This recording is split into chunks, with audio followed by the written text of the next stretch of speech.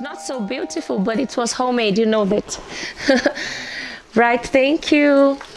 Right. It was just a way of showing uh, the organization of brain, the way it works. Well, I could use like it's better when we do this in a in a plain area all right so there is a dolphin ah there is a dolphin very good. Now i like to illustrate in front of the class. There I will get more green ones. I'll get this different. Okay like there sorry. There are it's difficult to hold them so this is why we need a place so here there are one two three four five six seven plastic bags the way we structure sentence is like this. We give students a chance of organizing the sentence in their brains. All right? Give them a chance. Because for us it seems so simple. Oh, there is, there is. But for them, no, they need that time. And in this uh, experience, I had those very low self esteem students that they really got engaged. They found an opportunity. Say, oh, I must, I can hold it. Ah, because if you put it in the front of the class, who can have this opportunity? You and some other two. But if you give us game sets for many groups, everybody has this opportunity. And also, they develop working in groups and they feel confident because they say, Well, I am making a sentence, I am speaking. And for example, this is the way I give students an oral grade because they speak in pairs, groups, or trios. And then, yes, see the sentence organ- They see the organized. yes, they see the sentence organized and they have this to organize in their brains. Yes. Because for us it's so it's so easy, it's so obvious, but for them maybe it's not. And also it's very concrete, right? Concrete. Yes, we need to talk about concrete. If you have a person with attention deficit and you think about what can you see in the picture? There is the person will be busy in the class, running in the class. But if they get the first one, there mm, are uh, five bottles. This is the way my students go. This is the way they go. They they get really excited. Three words, three. Yes, three words, three rods for the sentence. Yes, three words, three rods for the sentences. Uh, this is also for us to know about the contrast. In Portuguese, we use have instead of there is, there are. Do you know that? When I ask my students, how do you say in English, tem um carro na rua? They say, have a car in the street. I don't know about yours. No, yes. But this is why I like to contrast Portuguese so many times. I have 10 years. Oh, so you know this. Yeah, mine are exactly 8, 9, and 10. So you know what, what I talk about. And also a way of having them uh, describing is not having, but saying, uh, showing what there is, there are. Why am I teaching this? Because in that context, I needed them to describe the book. I had an objective. It's not that I decided, well, today let's do something. Okay, let's study there is, there are. No. I had an objective, having them describe. And in their tests, I had pictures and I asked, describe the pictures. All right? This is what we've been talking about as contextualized practice. Let's move forward. This we have done, we have done, we have done. Yes, yeah, rods. Structuring sentences to organize brain. Rods, you put escala Cuisenaire. There is also material dourado. There are so many names people use for mathematics. The most common is mathematics. But then languages, they have been using them as well. Rods, what are those? Well, if we have pictures, we don't need to explain. so much. All right? They, well, uh, plastic or wooden blocks, one square centimeter or more. Uh, recommended that you get some for yourself. They are compact, portable, relatively inexpensive. I got this from donation. I don't know if you can believe that. Uh, but they are the most versatile teaching aid I know of any price, right? Because with these very simple materials, you can use all your creativity to help your students with concrete sentence making, right? Okay, I have to control the time. Well, another one introducing vocabulary, old style. Do you remember? Presentation, practice, production. Some 20 years ago, in elaborating sentences game two in one. I'm sorry if what I'm telling you is not so new, but that makes me so happy and my students too. And for that, I might, I might try to convince you. Well, let's see the difference. Okay, let's present the, the vocabulary. What do you know about a classroom? The best ones. This is a pencil case. The other best one. Uh, this is an erase. The, the other ones. Yeah, we've got 25 people. What can we do with them? We've got 25. Uh, the presentation, practice, and production. Again, I will talk about a case study uh, in which I, I don't teach for a bilingual context, but it's a content and language integrated learning. So then I have to unite uh, very, very small knowledge about science with language knowledge. So look, the case studies teaching landforms and water forms, describing characteristics. I found in Google, and I don't know why they the person considered a river a landform if river is made of water. Well, no problems. I am introducing landforms, so uh, then I go there. If I ask my students, hello, what do you think landform is? No one would answer. Open questions, what are they useful for? Nobody would answer. If you, there's no way. Uh, but then uh, I will be showing this picture. I give the answer. So how can I teach not giving the answer, not speaking a question that few of them would be able to answer? How can I make it a process of having them discover? Well, student-centered way of introducing vocabulary. I could ask what is a landform, what is a water form. They could talk in uh, in groups, yes. But then we are going to try to discover together. Let's try. Again, we are going to play a game. Well, so please, I will get that old set of games. You are going to be my nine or ten year old students trying to discover and define and make sentences. What is this game like? Memory. Do you know that people with dyslexia, the most they have to to work on is memory? In contrast, people with autism, they have very nice memory. I don't know if you deal with them, but I do. So autistics, wow, they have a memory better than ours. But then uh, uh, dysle- people with dyslexia, they need some help with the memory.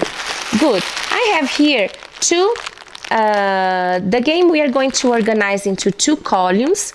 Of course, in the class, I would show on the floor, I would play modeling, yeah, because giving instruction to children is useless. Maybe for me, they don't listen. so I model. I model with another student. So in this case, you don't need modeling, but you are going to divide into two columns. And the rule is, when you, whenever you get a card, you have to speak. An ocean is a. An ocean is a water form or land form. You have to make a sentence for each slip of paper you get. Pairs or trios? Let's start. Yes, if you want, you can use this space. We have lots of space here. Yes, we can make a mess, but then we, we put everything back in place. All right, Lyrica? She allows us, all right? Yes, she allowed, so everybody can.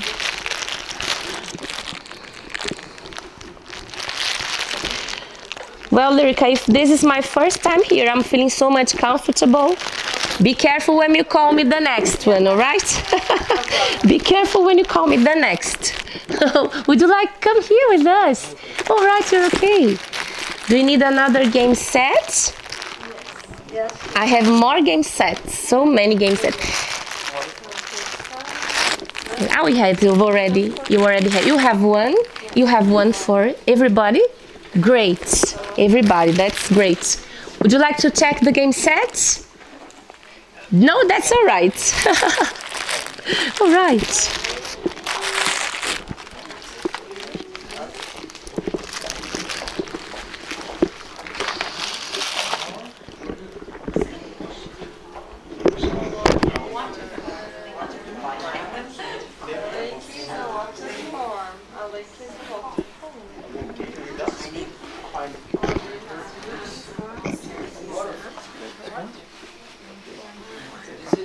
Yes, it's a memory game.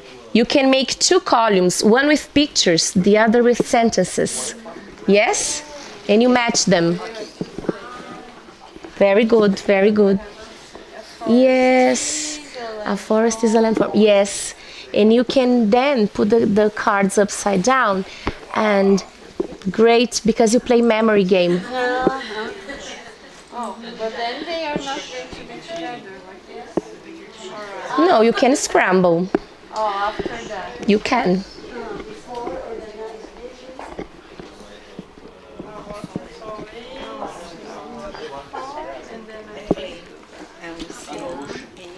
An ocean is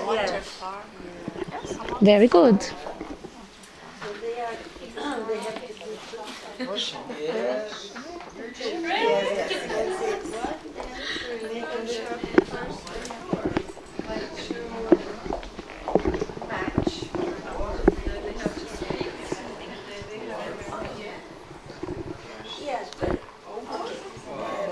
I didn't think about speaking, I only changing the, the, the group, the two. But for each one, we don't have to make a sentence. Yes, I know, I know. Yes, I know. But first I change, they are going to organize, and then they are going to sing. And then memory game. Memory game. So is, a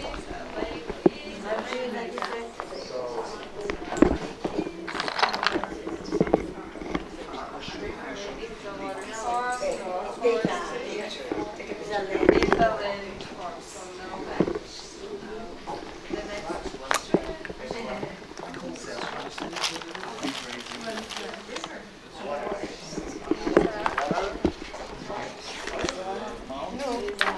A let, let form.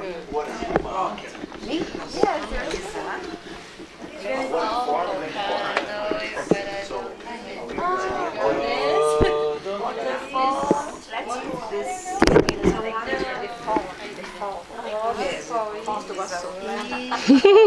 Do you know? They say Foz do Iguaçu. Foz do Iguaçu. yes, isn't it? Amazing, fantastic.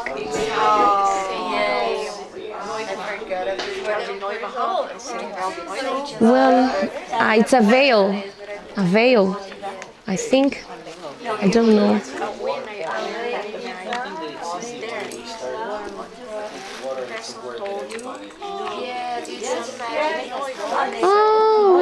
Really? So beautiful. The the picture. What is this? Forest? Forest? No, forest. What is this? Ah, it's a lake, a lake with a, could be a lake or a river with a bridge. hmm I like you the questions you're asking. Yes. Well, again, well, I'm trying to clap, but then the book I have to hold it, so we clap, clap, clap. Stop, stop, stop. We clap, clap, clap. Stop, stop, stop. Some people say the moment you have to ask them to stop is the moment they're having fun. Because if the fun has already gone, then they're and then you stop and say, ah, please, one minute more. And then you are asking, well, Lilian, if you've told us that your students are nine years old, how can they discover water, farmland, for volcano? How can they discover river? This is the moment they're going to read the book. I give them the opportunity. If you don't know, try to check in the book. They have never seen this passage before. It's the new the the new contact, the new text. So here they can check. Oh, a mountain. Ah, yes, a mountain, a volcano.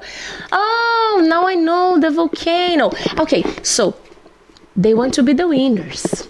So they're going to read because they want to be the winners, not because you've asked them, open your books, let's discover. You see, they really discover this way. And they discover in a way they won't forget anymore. It's not a way I'm presenting, I'm asking them to repeat. But then, of course, if there is a moment they need to repeat because their pronunciation is not so good, we can have that moment. But the first thing is let them discover by themselves. Give them the opportunity of discovering by themselves. Here they can see a desert, the ocean. Ocean. For example, how can they know the difference between lake and river? For them, this is very difficult. So they would open the book, we would see that a river is a flowing of water and lake is surrounded by land and they would get the definitions all right? And then suppose on their tests i'm going to ask them what is the definition of lake? What is the the definition of um, volcano? I'm going to ask them for the definitions. I have another game in which i put definitions like an information gap activity. In one i have the questions the other the answers and they go asking each other well, I will go. Let's go to the next. Yes? All right.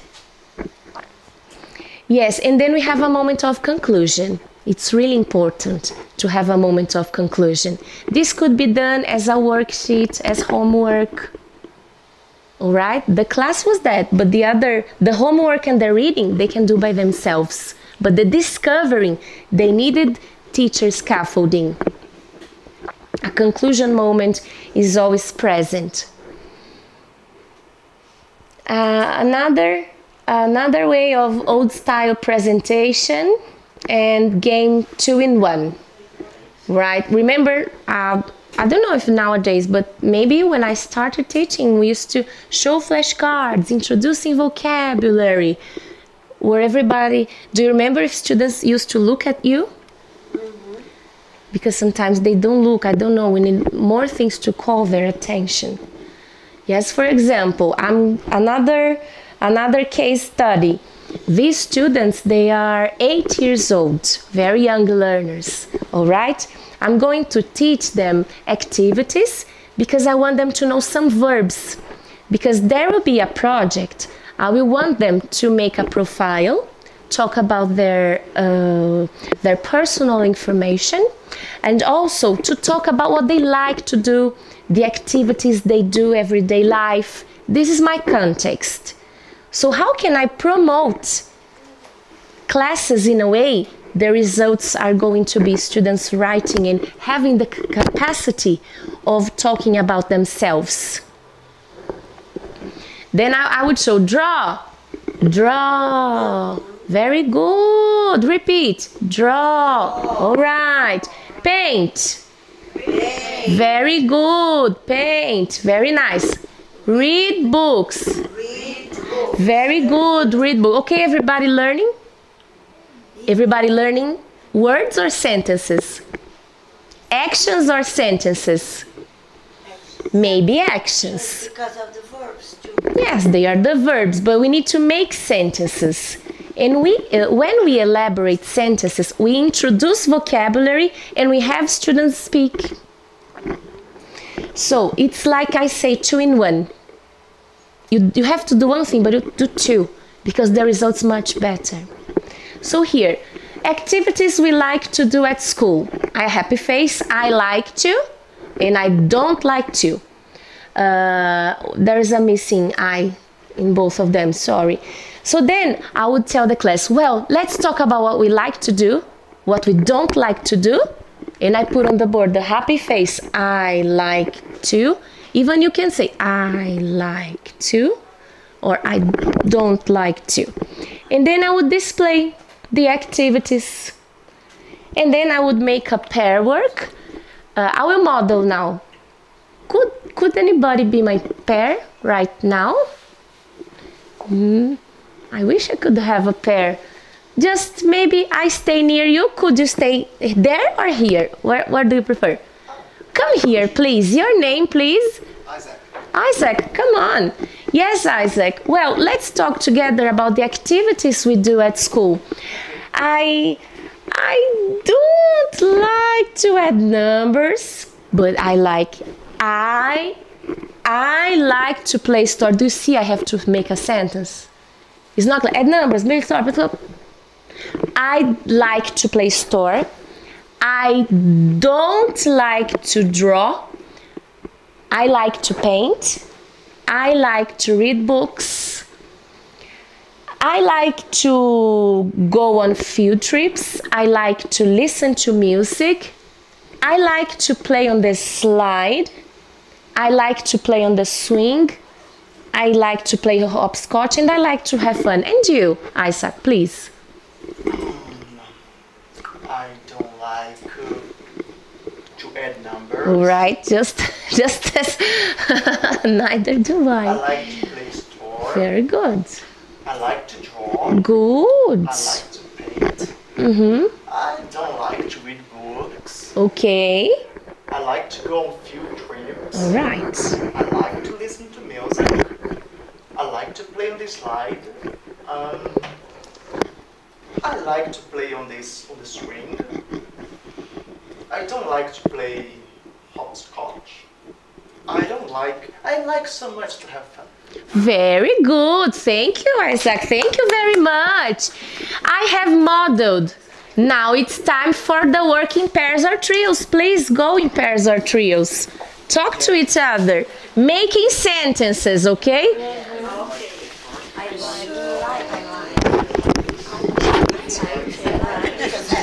I like to eat. Oh, I forgot to put I like to eat. Sorry.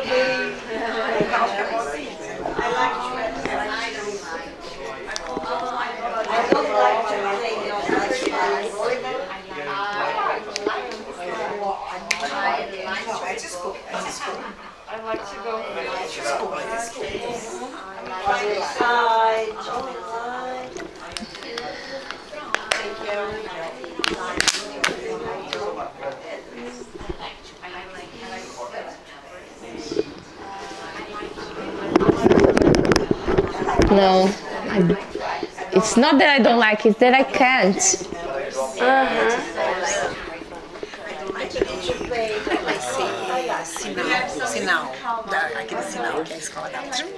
You don't like the bell? You don't like the bell. In my school, they, they quit this. Yes? They're not ringing the bell anymore. Everybody knows the, the we start clapping our hands so they know they have to go back.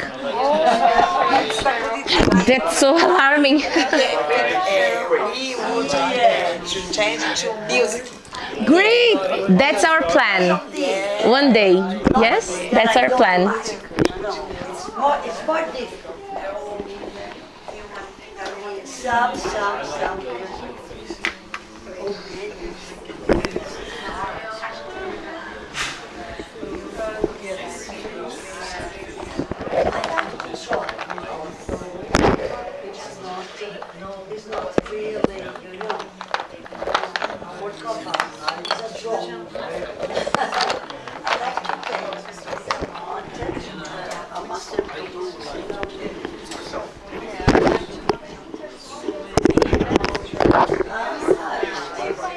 Okay, thank you for the game set.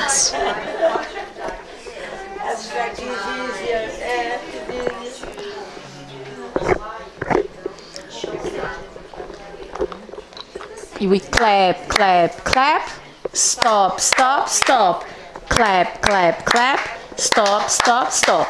After the pair work, we could learn uh, now I think that in the end of the teaching, my students will be able to write an email to people from other country after all the things we've done. They are going to say what they like to do. They will talk about personal information because they can make sentences right? But then uh, let me see if this is the right no i will just show a way now about the the third person singular. I could say let me get the i and let me get the he eyes black he can be the green. I he like and yes here. For example well I need the oh here. I won't let things fall any longer. Then I would say I I I like to paint. I like to paint. Isaac, do you like to paint?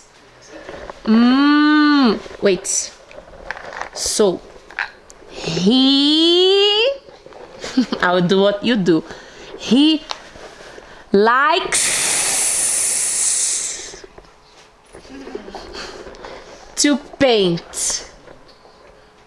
Yes.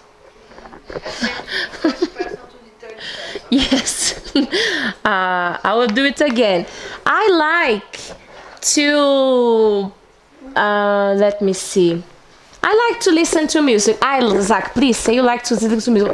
Isaac, do you like to? Don't no another one you like. Tell me what's the other one. Uh, have fun. Isaac, I like to have fun. You, do you like to have fun? Ah, so I, I, oops, I like to have fun. How about Isaac? He, he, he, he's green, okay? Uh-huh. Yes, let's not talk about gender or anything, but green is for boys, let's say. He Like. likes to have fun. He likes. Is there a box for third person singular now? Do you see that? This when my students learn this, they would go forever making the right thing. Yes, because this and I I really exaggerate because who doesn't exaggerate? We have to teach. And then what would be the follow up? I would go again, we would go again in pairs or trios. Like, we talk to each other. Now we make sentences about each other. Yeah, we can say this is drilling. Okay, I accept it can be drilling. But the best thing is that they are really making sentences. They're making complete sentences. A variation, a variation, a variation for this, uh, for these same things. Because young learners, you cannot teach a lot of content. It's a few content, a lot of practice. Repetition. Yes, repetition and variation. Yes, if you teach so many things, nobody remembers. They understand. And they understand. Yes, they understand. When I put here he, and then when I get the, the red one and I say she, and I get the small one for the S. Uh-huh. And then if I want to say uh, likes and doesn't, I can use other ones that represent negative things for their brain understanding. And then I would have this uh, as a mime game. Do you play mime game with your students? Yes? Do you used to play mime game? Do you know miming? Yes, because in my classes we go outside the classroom we, with this just movements. It's really working out. I love doing a mime game. So the mime game is you have to guess and have the opportunity of having somebody guess too. So if I say Can you see I am elaborating a sentence? Mm is I. Is like or mm I. don't like. Can you see you are giving them messages to their brains to elaborate sentences? Yes? So,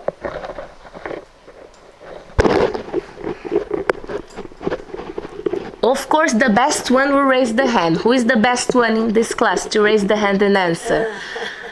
Who could could it be the best one? You would answer, wouldn't you? And what do you want to practice? Do you want to practice with the pronoun you, with the pronoun he, with she? Do you want to practice third person singular? Let's practice third person singular. So you could say, Lilian is a girl, so she likes to listen to music. Yes, if I make a game uh, in pair, you guess what I represent because you have to make a complete sentence. And then I guess what you make the gesture and I make a complete sentence. Would you give it a try? Just once. Mm-hmm. For the miming. Okay, we stop the camera. Nobody's going to see you. There's a place. Ah.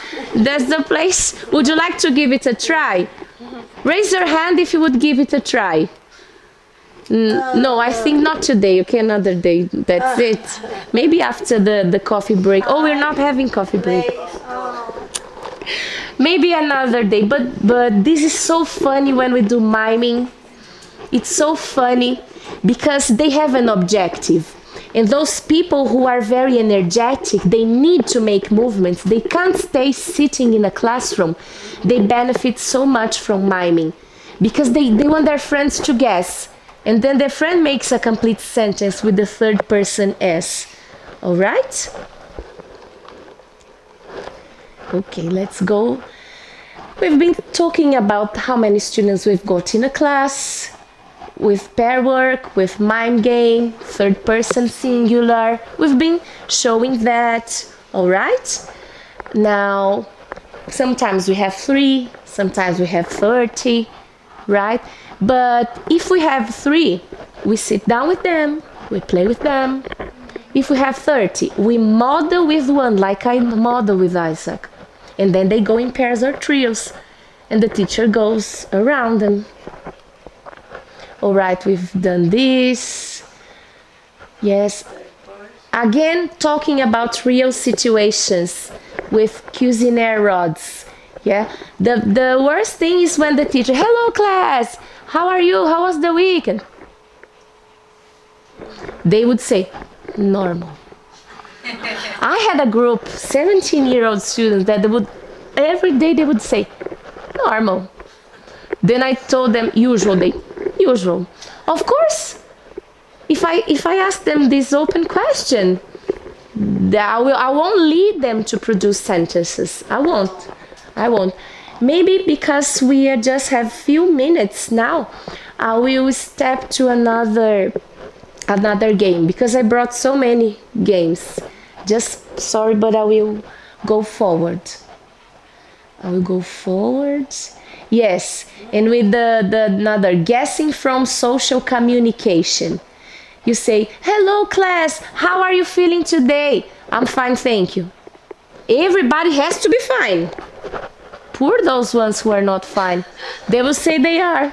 We only teach them they're fine. Ah. Isn't it? Well, let's teach them more adjectives. Well, here I can have them repeat, I can make a presentation, practice, but we can make sentences again in a mime game, right? I could say,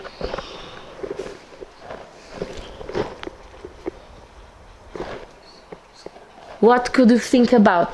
You could say, She, she is nervous or scared. Can you see we're learning verb to be?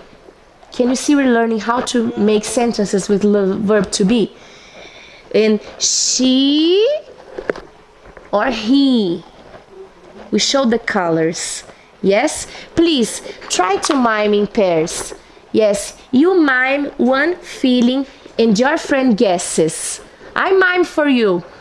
If you if you yes, please start miming the way you feel or supposing. Please. Yes.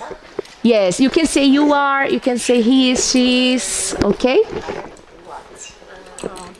São 10 minutinhos, né? Eu já vou tentar finalizar para que, se alguém tiver pergunta.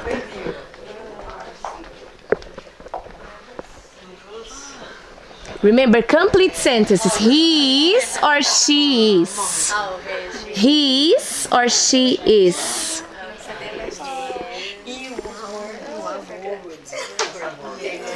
Yes, you can say you are, she is, he is.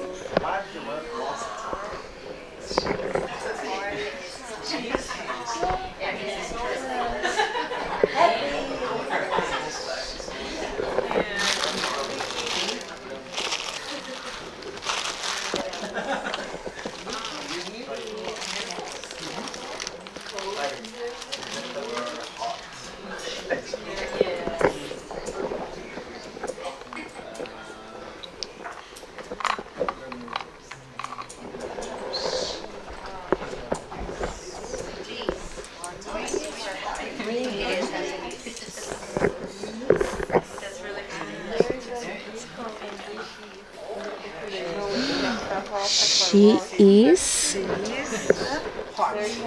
You got it. Making sentences.